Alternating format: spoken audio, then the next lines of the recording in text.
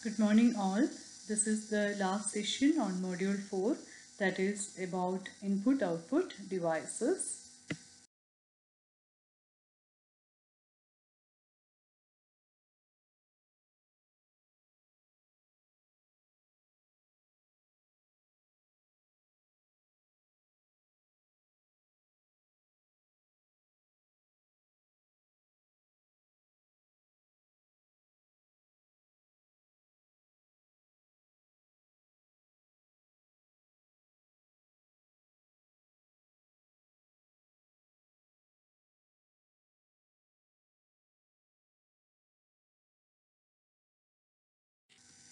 Today we will learn about the last topic on output devices that are about control devices. Computers can be used to control simple devices such as lights, buzzers, robotic arms and motors using control output devices. These are controlled by turning them on or off according to a set of instructions. So these are done with the help of software and uh, this can be done with the help of output devices. There are lights, buzzers, robotic arms and motors. Lights can also be um, seen as lighting control devices. The term lighting control system refers to an intelligent network system of devices related to lighting control. So it involves lights um, and relays, sensors, photo cells, light control switches or uh, touch screens and signals from other building systems uh, such as fire alarm. So these are all part of the lighting control system.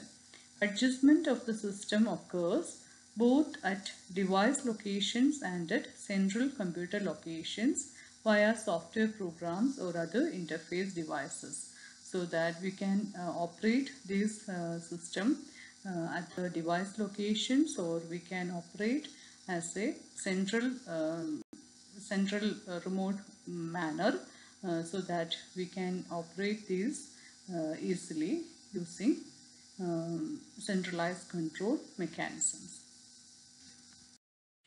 These systems are widely used on both indoor and outdoor lighting of commercial, industrial and residential spaces. These systems serve to provide the right amount of light where and when it is needed. These are used with relays and control systems in signaling, automatic lighting and burglar and fire alarms. So uh, these are used uh, nowadays with the um, traffic light signals and we can use this as burglar or fire alarms. Another major benefit of lighting control systems is reduced energy consumption. We can reduce the amount of energy consumed by using these type of systems.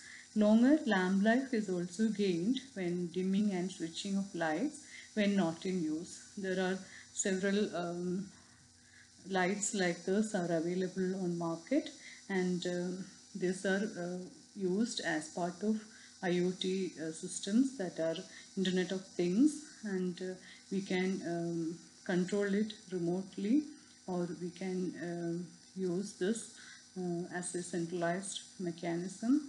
So uh, these are some of the modern type of um, output devices. Next one is about buzzers. It is also known as beepers.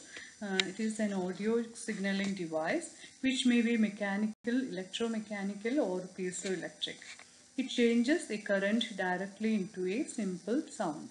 Since it uses uh, low current, it can be powered directly from a computer. There is no need of uh, relay or switches in between. We can use directly from a computer. Typical uses of buzzers and beepers include alarm devices, timers and confirmation of user input such as mouse click or keystroke as we are using it uh, along with the quiz competitions and all. Uh, next one is uh, robotic arms. This is also one of the um, very recently used output device. Uh, it's a type of mechanical arm usually programmable with similar functions of a human arm. So this can be part of a robot or it can be a standalone one. The links of such a manipulator are connected by joints allowing either rotational motion or linear displacement. Uh, both are possible. The links of the manipulator can be considered to form a kinematic chain. The terminus of the kinematic chain of the manipulator is called the end effector and it is analogous to a human hand. So this is the mechanism behind a robotic arm and it acts as a uh, human arm. Uh, these are uh, mainly used in uh, various applications. Uh, these are used um, to assist the uh, mentally disabled or um, the persons who are sick uh, and uh, many other purposes we are using this type of robotic arms nowadays. Next one is motors. Uh, these are not very heavy uh, or large amount of motors. These are um, small motors that are used along with the computers uh, that can be used as output devices. These are not usually powered directly from a computer as they use too much current. So we are not directly connect with the computer. It can be um, used as a separate device. They are usually controlled through a relay which is an electronic switch. In a relay, a small current controls an electromagnetic switch which can turn on or off the much larger current which powers the motor. So with the help of relays, we can use uh, the motors uh, with the computers. Examples include electronic doors and windows, cooling fans, etc. Here in this uh, kind of applications, we are using uh, motors. These are also used in the automobile industry to move robot arms that spray body shells or assemble them and it can also be used in other industries and in electronics manufacturing to assemble delicate electronic components on a printed circuit board. That is difficult for a human hand. So it can be uh, done with the help of robot arms and this can be work uh, with the help of motors. So these are the various control devices used as output devices of computers